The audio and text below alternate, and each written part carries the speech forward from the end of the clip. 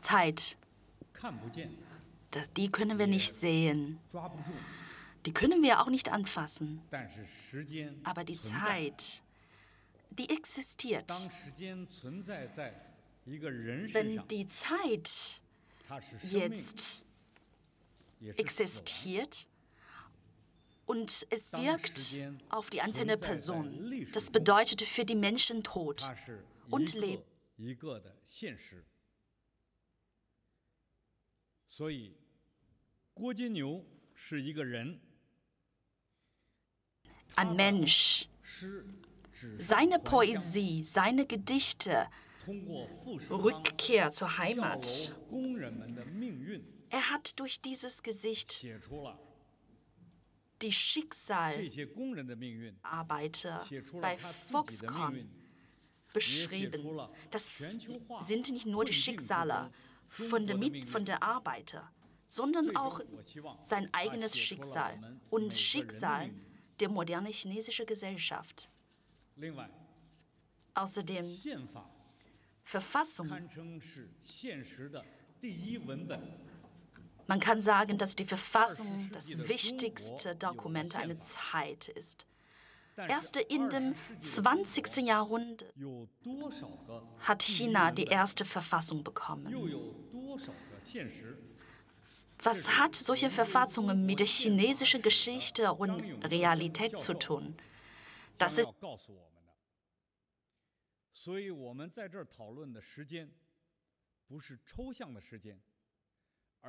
diskutieren hier 活 über 生 die 生的时 Zeit. 间。 Die Zeit ist 所以 nicht 下 eine 面 nur 让 Zeit. 我们听 Die sind 听 nicht 郭 trocken. 金牛和张永乐的声音。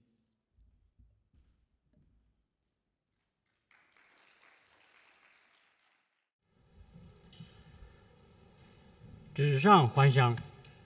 少年，某个凌晨，从一楼走到十三楼，走完就到了楼顶。他 飞呀飞，鸟的动作不可模仿。少年画出一道直线，那么快，一道闪电直没击到前半部分。地球比龙华镇溜大，迎面撞来。收豆凝着了少年，米凝着了小小的白。母亲的泪从瓦的边缘跳下，这是半年之中的十三跳。之前那十二个名字围成，刚刚落下。秋风连夜吹动母亲的笛花，白白的骨灰，轻轻的白，坐着火车回家。他不关心米的白，荻花的白，母亲的白。霜降的白，那么大的白，埋着小小的白，就像母亲买着小儿女。十三楼，防跳网正在封装，这是我的工作。为拿到一天的工钱，用力将螺丝顺时针固紧，它在暗中挣扎和反抗。我越用力，危险越大。米如香的嘴唇，小小的酒窝藏着两颗露水，他还在担心。秋天的衣服一天少一件。纸上还乡的好兄弟，除了米，你的未婚妻，很少有人提及。你在这栋楼里七零幺，占过一个床位，吃过冬碗米粉。三个月。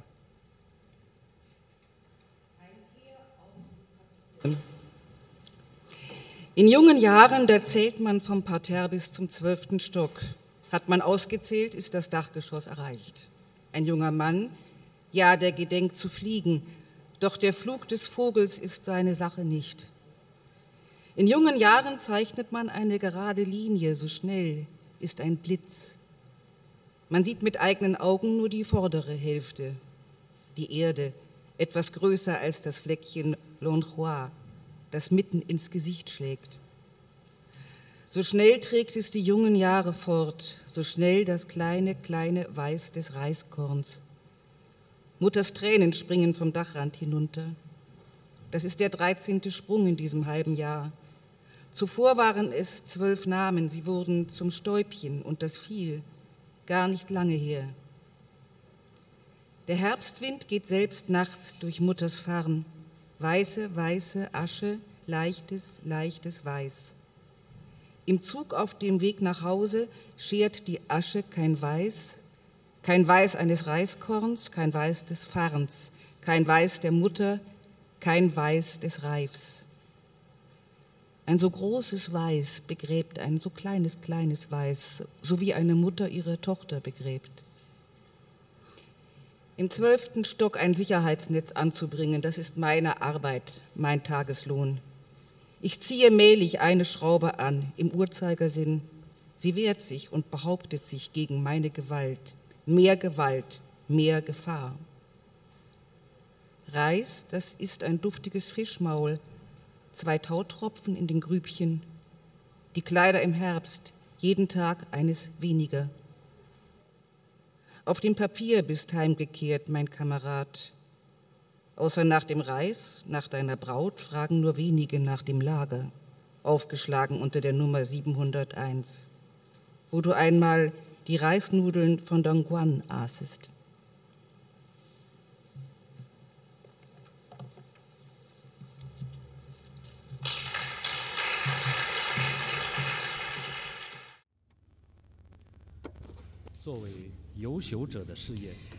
Als ein Unternehmen von sterblichen Menschen ist das Leben der Verfassung auch etwas, was innerhalb der Zeit passiert. Während in der Vergangenheit die Alten Gesetze gemacht haben und dabei Ewigkeit angestrebt haben, ist die Verfassung heutzutage für die modernen Menschen inzwischen etwas, was sich mit den Zeitläufen ständig weiter ändert. Aus einer modernen Blickrichtung aus betrachtet ist die Verfassung nicht länger das Instrument göttlicher Vorsehung, sondern es ist etwas, was die kollektive Selbstbestimmung, auf die sie gegründet ist, und was einer speziellen politischen Gemeinschaft dient, um jeweils ihre Selbstbestimmung darin zum Ausdruck zu bringen. Das Prinzip der Souveränität beinhaltet auch, dass die neue Generation dieses Gesetz, das niedergelegt wurde von den Alten, verändern kann, wenn sie findet, dass es nicht mehr zu den Zeitläufen passt. Dieses moderne Verständnis des Verhältnisses von Zeit und Verfassung eint den politischen offiziellen Diskurs von Washington nach Beijing, von Moskau bis Johannesburg. In China jedoch hat die Veränderung der Verfassung während des 20. Jahrhunderts eine ganz andere Dimension, nämlich eine Zukunftsdimension. Das ist verschieden von der Situation in allen anderen Ländern. Wenn wir Verfassung so verstehen wie in Politeia im griechischen Sinne, also als ein Gesetz, das sich eine funktionierende politische Gemeinschaft gibt, dann hat jede funktionierende politische Gemeinschaft eine Verfassung, auch das chinesische Kaiserreich. Natürlich ist im chinesischen Kaiserreich von einer Dynastie zur anderen jeweils äh, großer Umbruch gewesen, aber die Herrscher der unterschiedlichen Dynastien hatten doch einen relativ stabilen Kanon von Gesetzen. Das nannten sie Naturgesetz oder auch Gesetz des Himmels. Es gab dort keine lineare Zeitachse, sondern das war gegründet auf ein zyklisches Verständnis von Zeit. Die, das moderne Konzept von Verfassung jedoch hat sehr große Veränderungen inspiriert und äh, zur Folge gehabt, auch in China, denn es ist ganz verschieden von der alten Auffassung von Verfassung. Dieses neue Konzept, dass nämlich die Verfassung von Menschen gemacht wird, ein Code, der das politische Leben organisiert, hat also große Veränderungen auch in China bewirkt. Die Idee hatte großen Einfluss in China, nachdem das Reich des Himmels von westlichen Großmächten verschiedentlich mehrfach stark besiegt worden war. Die chinesische Niederlage im Krieg zwischen Japan und China von 1894 war ein ganz besonders starker ähm, Schlag für das politische Selbstvertrauen des Hofes der Qing-Dynastie und auch für die konfuzianischen Scholaren und die Bürokraten. Die japanische Erfahrung dieses schnellen Aufstiegs nach der Meiji-Reform und auch die Errichtung einer konstitutionellen Monarchie nach dem preußischen Modell wurde zum Vorbild für die chinesische politische Entwicklung. Der Fortschrittsglauben, der in verschiedenen Versionen aus Europa nach China hineinkam, hauptsächlich über die japanische Sprache, spielte auch eine sehr große Rolle. Während der letzten zehn Jahre der Qing-Dynastie war der chinesische Kaiserhof eigentlich nur daran interessiert, die Macht, die politische Macht der Manchu-Dynastie zu stärken. Das frustrierte die lokalen Han-Adeligen, die ihrerseits äh, stärkere politische Partizipation verlangten. Im Oktober 1911, als dann die Revolution ausbrach, haben viele der konstitutionellen Monarchisten dann ähm, sich verabschiedet als Anhänger der Qing-Dynastie und sind dann zum revolutionären Lager übergelaufen. Die republikanischen Revolutionäre haben die Revolution in 1911 losgetreten. Sie haben auch die erste Verfassung von 1912 geschrieben, aber es gelang ihnen nicht, die Regierung der Republik, die dann etabliert wurde, zu beherrschen. Die Konservativen, die nun das alte administrative System der Zentralregierung kontrollierten, waren also äh, auch mit dafür auslösend, dass nun Revolutionäre, die einen ganz anderen Diskurs, nämlich einen Diskurs, eine Diskussion von Demokratie und Fortschritt anzettelten und damit versuchten, mehr gesetzgebende Kraft und auch örtliche Selbstbestimmung zu erreichen. Die Konservativen hingegen wollten die Zentralmacht des Präsidenten stärken, was auch ein Ziel war natürlich, das sie verfolgten, war, nach der Revolution zu verhindern, dass der gesamte Staat China zerfiel, dass er sich in Bürgerkrieg auflöste. Ähm, die Konservativen haben also zu diesem Zeitpunkt erfolgreich die, Re die revolutionäre Lager besiegt und dann die Verfassung von 1914 geschrieben, die einen extrem mächtigen Präsidenten im Zentrum hatte. Theoretisch war diese Verfassung nicht auf einem fortschrittlichen Bild von Revolution jetzt gegründet, sondern war eigentlich mehr eine Kontinuierung der imperialen Vergangenheit. Damals gab es wenig Opposition, aber als Präsident Yuan Shikai sich selbst zum Kaiser erklärte in 1915, da stieß er auf sehr deutliche Opposition. Viele seiner Opponenten waren gar nicht gegen das monarchische, das Kaisersystem selbst, sondern sie sagten einfach, dass Präsident Yuan nicht geeignet wäre als ein legitimer Kaiser. Ihre Opposition wiederum verstärkte die revolutionären Kräfte, die natürlich gegen das kaiserliche, das monarchische System generell waren. Nachdem Yuan besiegt wurde, hat dann die Monarchie, und zwar in, einschließlich der konstitutionellen Monarchie, was ja es auch als Forum gibt, äh, ausgespielt in China und sie wurde stigmatisiert als eine altmodische, überkommene und nicht mehr mit den Zeitläufen in Übereinstimmung stehende Institution. Diese, diese Situation, dass also Yuan zu Fall kam, äh, brachte auch etwas anderes, nämlich eine ein Zerfallen der regierenden Koalition der politischen Kräfte unter seiner Führung. Und China kam in eine Bürgerkriegszeit. Die Warlords äh, verließen sich nur auf militärische Kraft, weil keiner von ihnen stark genug war, die anderen zu besiegen, hatten diese Warlords von Zeit zu Zeit äh, versucht, über einen Diskurs von Verfassung sich selbst zu legitimieren, also eine Legitimation darauf zu gründen, dass sie sagten, wir stützen uns auf die Verfassung. Diese Instrumentalisierung, dieser Missbrauch der Verfassung und Verfassungsidee hat in China als politisches Konzept die Verfassung als Idee äh, stark delegitimisiert, also sehr stark geschwächt.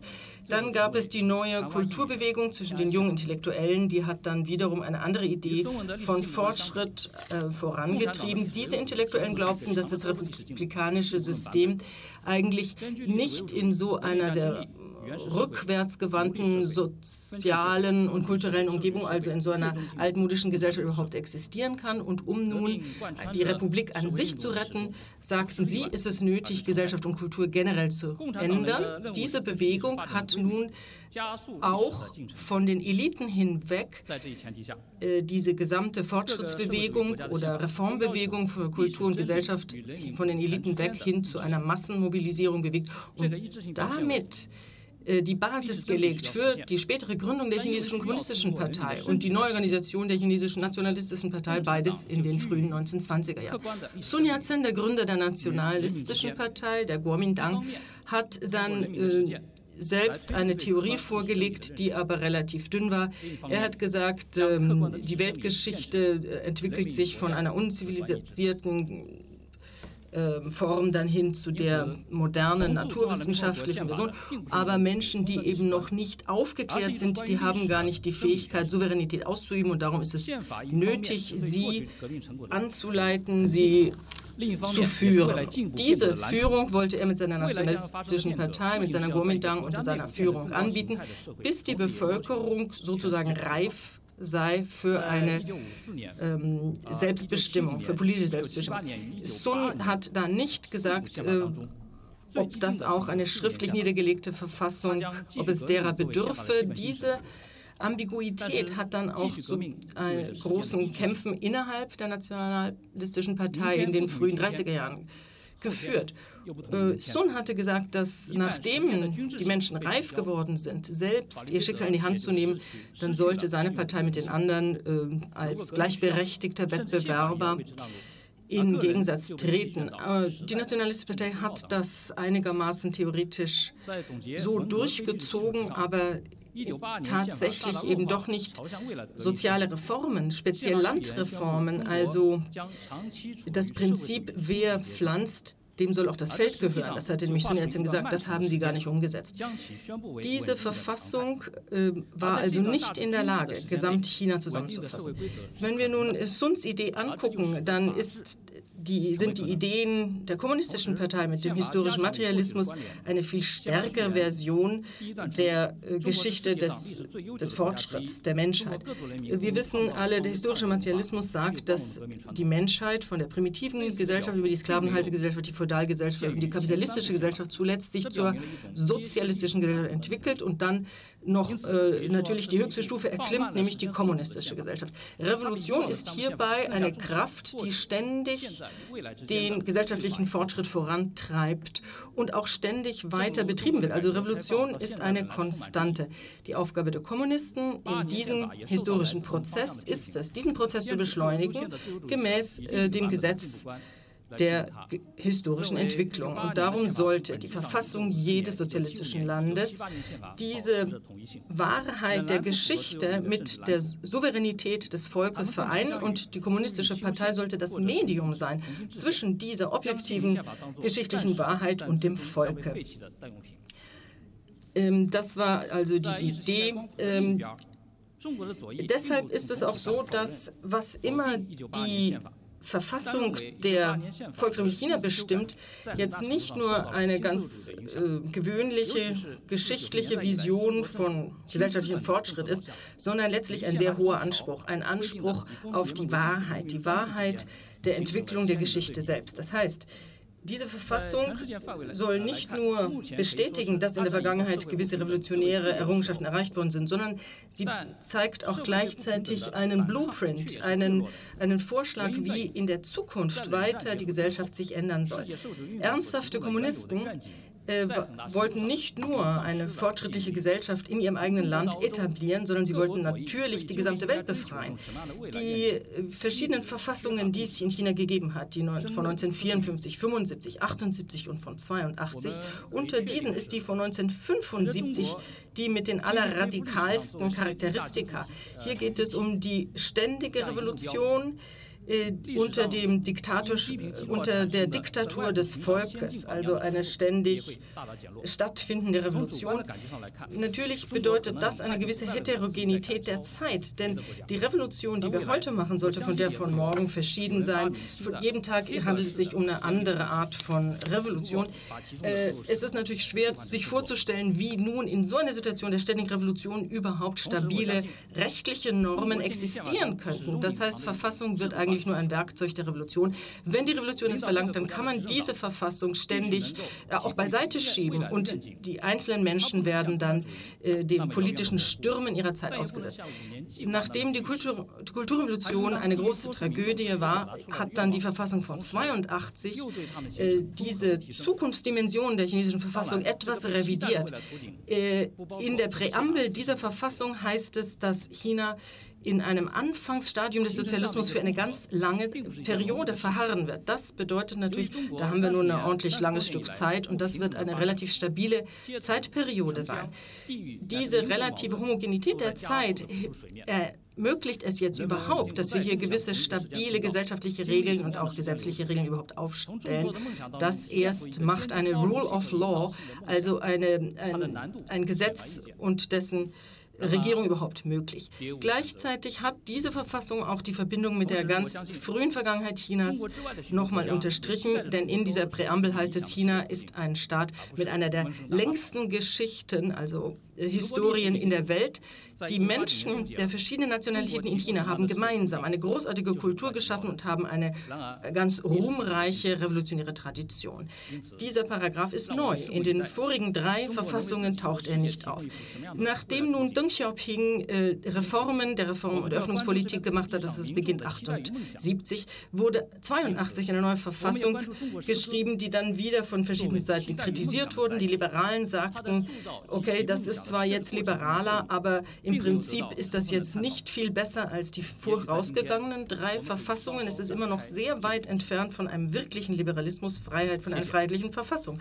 Auf der anderen Seite des ideologischen Spektrums sagte die linke Seite von China, äh, dass das immer noch nicht revolutionär genug sei. 最近，这座城市又出现了一件新生事物。 马路上跑着一种叫“永向前”的新型汽车，它是本省第一书记亲自下令制造的。在全城大会上，省委书记这样说：“这是本省有史以来第一次制制造汽车，我们一定要制造出一种具有独特政治立场的汽车来。”在历史上前所未有的，那就是没有倒档。它象征着革命，一条康庄大道直通共产主义，永向前，绝不倒退。倒退象征着反革命势力。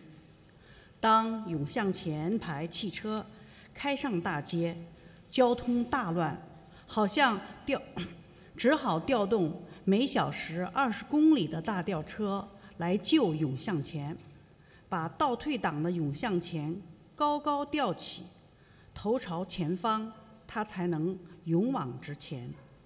当孩子们看见大吊车开往狭窄的街道上，大笑着、大喊着：“哇！大吊车又来救涌向前了！”哈哈哈。Etwa zeitgleich legte ein neues Auto den gesamten Stadtverkehr lahm. Es kam aus einheimischer Produktion und trug den vielversprechenden Namen für immer vorwärts. Wan Ruishan, Oberhaupt der Provinz, hatte die Spezialanfertigung in Auftrag gegeben, das Auto ohne Rückwärtsgang. Jeder verstand die Botschaft sofort.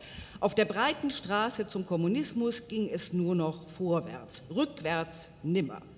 Immer vorwärts stand für revolutionäre Kräfte der Rückwärtsgang für Konterrevolution. Der in Sachen Wissenschaft etwas unterbelichtete erste Parteivorsitzende der Provinz warf dann noch ein, man solle doch gleich einen Wagen herstellen, der nicht rechts abbiegen kann. Schließlich wolle man keine Sympathien mit den Rechten nahelegen. Das wäre ja auch wieder konterrevolutionär. Die Sonderwünsche stellten den zuständigen Ingenieur vor eine echte Herausforderung und versetzten ihn obendrein in eine schrecklich heikle Lage. Er konnte ja nicht direkt sagen, dass dieser Plan offensichtlich lächerlich sei. Hier ging es darum, Flagge zu zeigen. War er oder war er nicht loyal mit der revolutionären Linie des Vorsitzenden Mao? Stellte er den Vorschlag des ersten Parteivorsitzenden in Frage, würde das Folgen haben und nicht nur auf sein politisches Leben. Das Ende eines politischen Lebens war ungefähr gleichbedeutend mit dem Ende des Lebens. Obwohl der Ingenieur aus einer angesehenen Arbeiterfamilie kam und sogar von der Partei ausgebildet worden war, musste er sehr genau aufpassen, was er sagte. Ein falsches Wort und er würde als Staatsfeind abgestempelt werden. Also formulierte er seine Frage extrem vorsichtig. Bevor wir so ein Auto bauen, sollten wir vielleicht weiträumig ankündigen, dass ab jetzt alle Rechtsabbiegespuren in der gesamten Stadt gesperrt werden. Oder was meinen Sie? Ein solches Vorhaben wäre doch viel zu teuer, fing der erste Parteivorsitzende sofort zu grübeln an und würde nur noch mehr Probleme verursachen. Schließlich wohnte der erste Parteisekretär höchstpersönlich direkt neben einer Rechtsabbiegung. Und wenn man nicht mehr rechts abbiegen dürfte, dann wäre sein Auto ja wertlos und er müsste immer zu Fuß gehen. Das würde doch nie funktionieren. Tausende anderer Haushalte wären womöglich auch betroffen und im Extremfall würde man Tunanhai nur noch aus einer Richtung erreichen und zwar über die Straße des ewigen Friedens durch Beijing. Und das würde die Arbeit der zentralen Führung viel zu sehr beeinträchtigen. Schließlich wurde der Vorschlag nicht abgelehnt, aber auch nicht angenommen, offiziell unentschieden hieß es. Die Rechtsabbiegespuren der Stadt wurden nicht gesperrt und das Auto ging ohne Rückwärtsgang in Serie.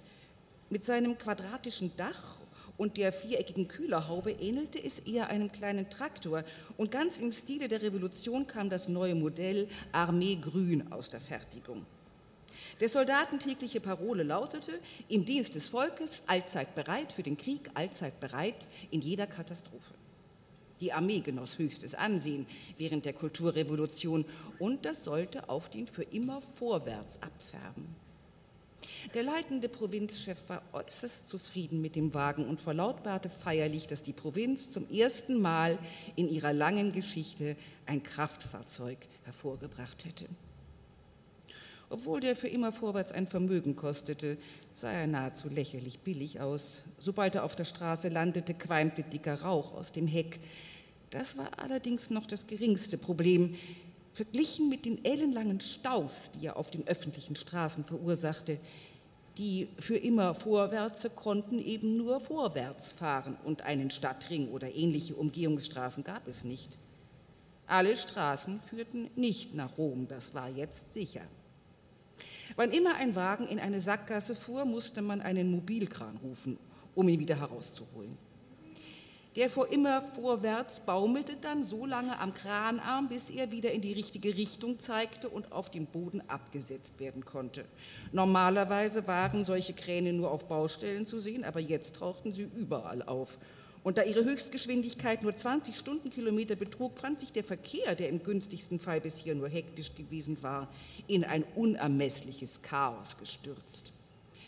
Sobald man einen der unzähligen monströsen Mobilkräne auf der Straße stehen sah, kannte man bereits seine Mission.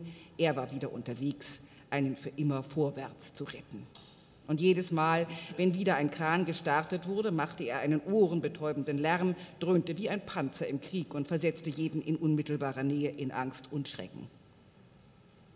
Die regionalen Behörden stellten auch keine Hilfe dar und verweigerten jeden Versuch, das Chaos zu entschärfen. Sie beförderten es sogar noch, indem sie die Produktion des für immer Vorwärts beschleunigten. Auch die Verkehrspolizei konnte nichts ausrichten. Das wäre als oppositionelles Verhalten gegenüber dem Provinzführer ausgelegt worden. Aufgebrachte Autofahrer legten sich auf ihre Hupe und fauchten ihre Flüche durchs Fenster. Während der Lärmpegel immer weiter anstieg, fielen selbst die letzten Hemmschwellen im allgemeinen Tumult.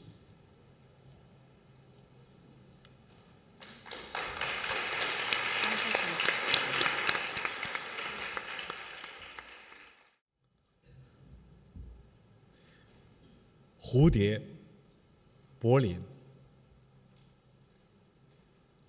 父亲的墓地被更多墓地深深盖住，塌下来的石头像云，夯实的重量里，一只博弈意外细出，一跳一跳找到你，当你还英俊细长，着迷于花朵摇荡的小扇子，公园中器官烫伤器官的吻。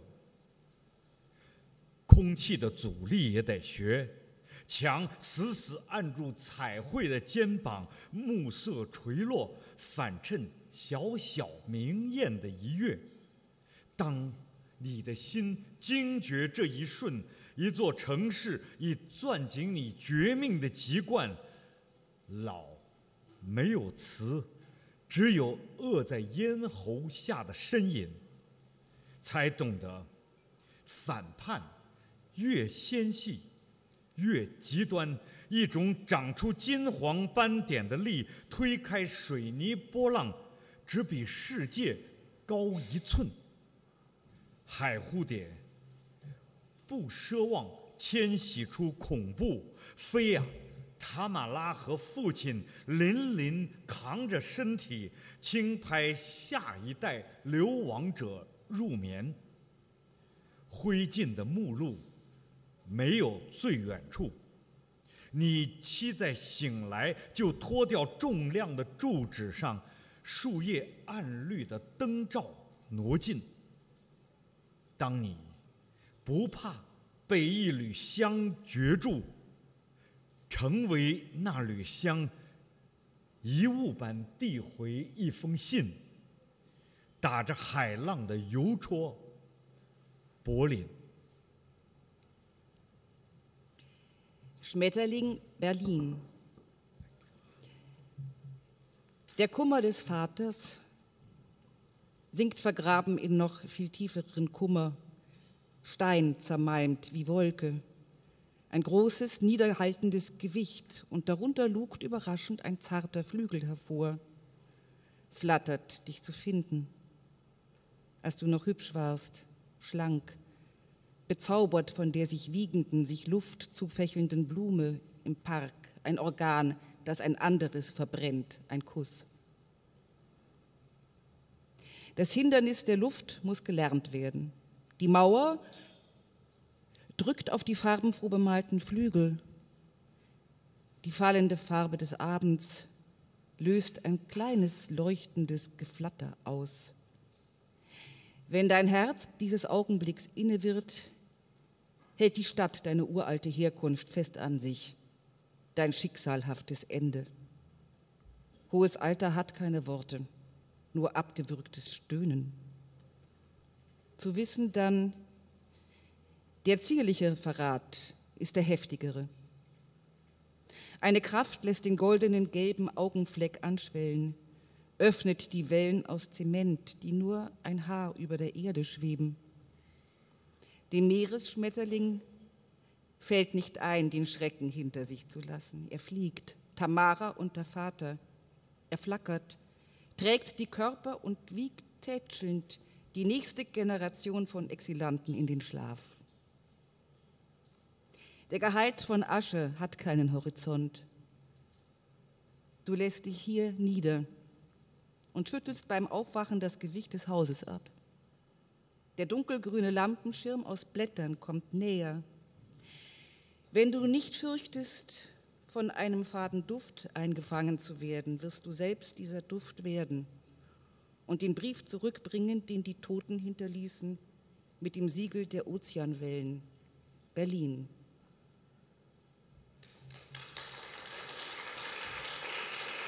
Vielen Dank. Second point. 花园的轮回，最厌倦春天的是花朵。死亡的园丁反复擦亮，父亲，一只放出鲜艳野兽的笼子，一年睾丸吊在血管枝头，让风揉着。石榴被过冬的蠢裁缝剪破一张人皮。葡萄铁丝网生锈的牙，仔细咬一枚刚会涨红的阴蒂。春天，鞋底的钉子沾满碎肉，每个入口比流产还湿。父亲，灌溉我们的是海水。一副沐浴中六岁的小小肩胛骨是一个概念。女孩从眼睛后面凝视，世界在世界后面。其中最惨痛的，又记起生活的一刻。大海的地图上，大理石像复仇秘密建筑着，人称像情人被积雪的句子忽略，遍地嫩绿的小拇指再探出，仿佛从未被砸断。这口无底的棺材，花香为什么不变？最厌倦春天的，是想象。一年，岩石没能借走的，熟视了每一个海浪的。父亲的花园里，死者从未增加过。这块躯体的原地，从未拒绝我们再一次抽芽，被死亡照料着，被死亡。所剩下。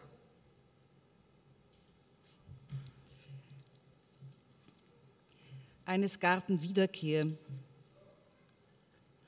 Am ehesten frühlingsmüde sind die Blumen. Der Gärtner des Todes wäscht einmal mehr den Vater, den Käfig eines freigelassenen bunten Tiers. Ein Jahr lang hingen die Hoden am Gezweig der Adern, sodass der Wind ihn rieb, den Granatapfelbaum. Ein Schneider blöd überwintern, zerschnitt eine Menschenhaut den Maschendraht von Trauben. Rostige Zähne beißen sanft einen Schoß, der gerade rot zu schwellen versteht. Frühling. Kleingehacktes haftet an den Nägeln von Schuhsohlen.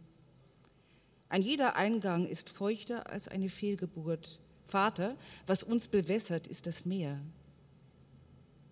Ein paar zarte Schulterblätter, sechs Jahre alt und im Bad, das ist etwas Begriffliches. Ein Mädchen schaut hinter den Augen, eine Welt hinter der Welt. Da ist konzentriert der bitterste Moment wieder des Lebens eingedenk. Auf Meereskarten gleicht Marmor der Rache, die heimlich schafft.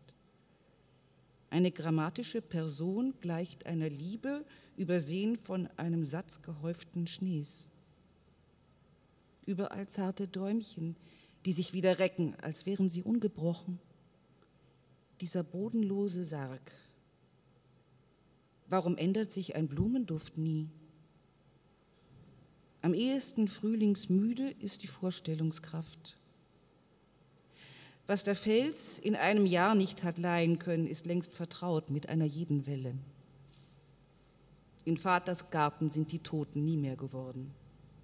Dieses Urland des Leibes, hat uns niemals ein nochmaliges Sprießen verweigert. Vom Tod betreut, vom Tod übrig gelassen.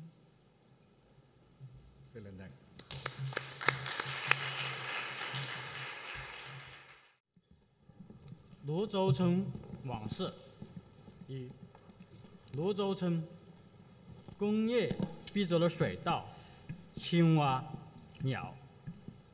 这些孤儿又被夺走了春兰。李小河开出海血，周水稻失去了防双亲，告别人患了肺病。陈胜飞快地装配着电子版，吴广焦躁地操作打桩机，日阳啊日阳，真要命！地上烧着书。坑里埋着人，工业加工业，会不会生下太多的鬼？会不会突然跑出一只，附在身上？我开始怀念鱼，怀念花，怀念鸟，怀念害虫。二，唐，一只毛蛋，过了北宋，过了秦川，他一身贵气，又过了秦始蕊、汉始田，至少过了八百年。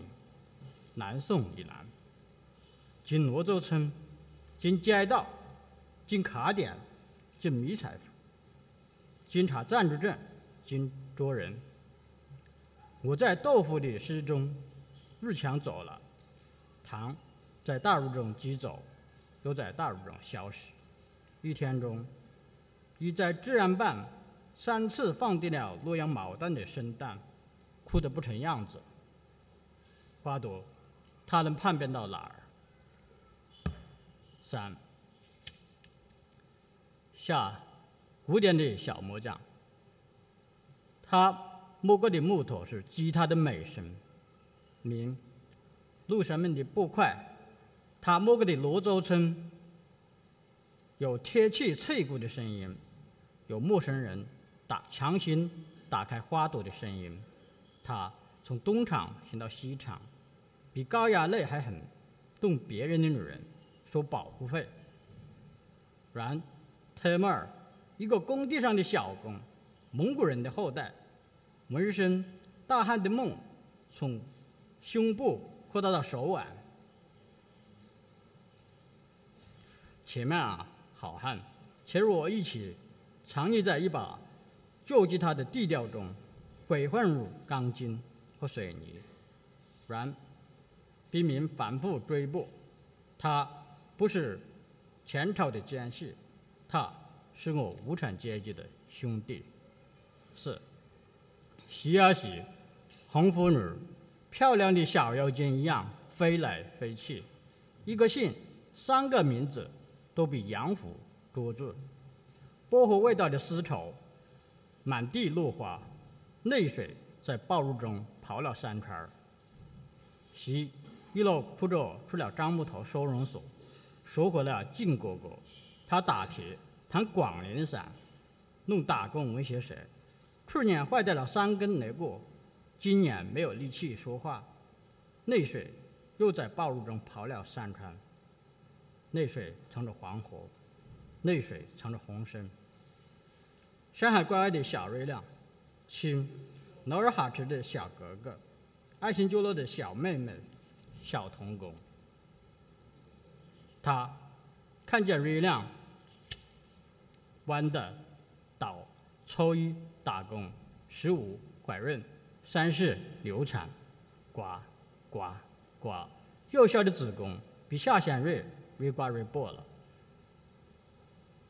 他看见夜是白色的，薄薄的光转弯，哦，北爱心，时空弯曲。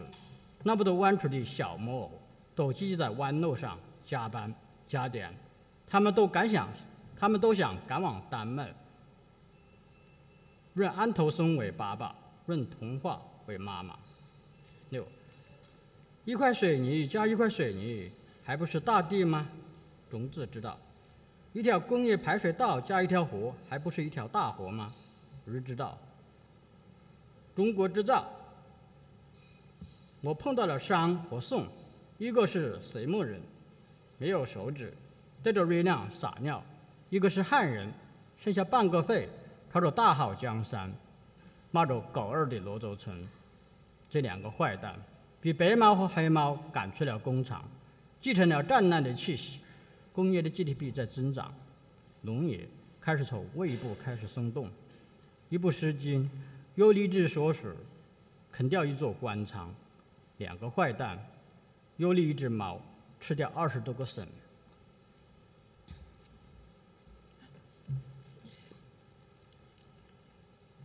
Dorfgeschichten.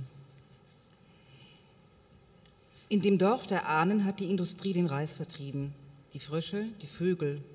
All diese Weisen ist auch genommen das reine Blau. Das Flüsschen Lee spuckt schwarzes Blut. Der Reis Joe hat seine Eltern verloren, die Wolken Chao leiden an Tuberkulose. Ein Bauernführer montiert flugs Elektronikteile, ein anderer betätigt angestrengt die Ramme. Yang, ach Yang, es geht um Leben und Tod. Auf Erden, da brennen die Bücher, da werden Menschen lebendig begraben. Industrie folgt auf Industrie. Werden nicht so zu viele Ungeheuer geboren? bis eines plötzlich hervorschießt, um sich an uns zu heften? Ich beginne mich zu erinnern, zu erinnern an Fische, an Blumen, zu erinnern an Vögel, an Schädlinge. Die Tangzeit, eine Päonie. Sie überlebte die nördliche Sonnenzeit, sie gegenüber die Chunjan-Zeit hinaus, erlesen wie sie war, überlebte sie auch die Chin-Zeit unter dem Mond, die Han-Zeit unter dem Himmel. Sie strich durch die südliche Sun-Zeit, zumindest 800 Meilen. Sie strich im Süden durch das Dorf der Ahnen, durch die Straßen an den Wachen vorbei, passierte die Uniformen, die Überprüfung von Kurzaufenthalten, die Festnahmen. Ich machte mich aus den Versen des Großdichters auf und davon. Die Tankzeit, sie eilte in schwerem Regen, sie entschwand in schwerem Regen mitten am Himmel. Sie stand bei der öffentlichen Sicherheit, sie verkrümelte sich mit der schäbigen Pose der Päonien dreimal und weinte nicht zum Aushalten. Eine Blüte, wie weit kann ihr Aufstand gehen? Zur Chia-Zeit war da ein Handwerkerchen von klassischer Art. Er berührte das Holz, das nichts war als der schöne Laut einer Laute. Zur Ming-Zeit war da ein Büttel hinter sechs Toren, der rührte an das Dorf der Ahnen, da gab es Eisenwaren, den Klang von splitternden Knochen, einen Fremden, der brach den Laut der Blumen gewaltsam auf. Er patrouillierte von der Fabrik im Osten zur Fabrik im Westen, gab sich wilder als jedes Amt, machte sich an die Frauen anderer heran, nahm Schutzgeld. Zur Mongolenzeit war der Herr Eisenholz, ein Arbeiterchen auf einer Baustelle, ein Nachfahre der Mongolen, tätowiert, schweißtriefend im Traum, die Brust geweitet zur Taktik, doch langsam, ach guter Mann, verbirg dich mit mir ein Weilchen in die Dur einer alten Laute, ziellos in Stahlstäben und in dem Zement. Nach der Mongolenzeit waren da die Verfolgungen zur Ming-Zeit viel an der Zahl. Er war kein Spitzel der letzten Dynastie, er ist ein Proletarier. Die Sui-Zeit, ach, die Sui-Zeit, eine Sängerin in rotwirbelndem Gewand, ein schöner Spuk, so luftig auf und nieder. Sie war nur ein Name, ein Familienname mit drei Vornamen. Sie alle endeten im Sitz der Familie Jan. Seide mit dem Geruch von Minze, Blüten auf der Erde, Orkane, ein Tränenmeer, dreimal die Runde. Zur Sui-Zeit auf dem Weg weinend zum Sammellager von Kampfer. Ausgelöst wurde da ein Bruder der Yin-Zeit, der das Eisen schlug, der eine Weise zupft. Im letzten Jahr wurden Muskeln und Knochen zu Schanden. Im letzten Jahr fehlte die Kraft einer jeden Rede. Die Tränen machten nochmals dreifach die Runde, mitten im Orkan. So brach das Weinen den gelben Strom so barg der gelbe Strom einen jeden Schrei. Der kleine Mond am Ende der großen Mauer so licht. Die junge Prinzessin des Mongolen, die junge Schwester des Mongolen, Kinderarbeit. Sie sieht den lichten Mond, die Sichel, das Messer. Zum Monatsbeginn Maloche, am 15. schwanger, am 30. Abtreibung, weg, weg, weg die junge Gebärmutter weg und unfruchtbar dank Sichel. Sie sieht die Nacht, die Nacht ist weiß und unfruchtbar, ein Glanz und seine Drehung, ja, ein Stern namens weißer Zwerg, Zeit und Raum gekrümmt. So viele gekrümmte kleine Marionetten, sie alle kommen zusammen auf gekrümmtem Pfad, um Überstunden zu machen, um mehr zu malochen, die Arbeiterinnen wollen alle ausbüchsen nach Dänemark. Andersen ist ihr Vater, seine Märchen sind ihre Mutter. Zement zu Zement bleibt da noch etwas von der Erde? Die Saat allein weiß es. Die Industrie lässt Abwässer in die Flüsse ein. Ist da noch groß ein Fluss? Die Fische wissen es.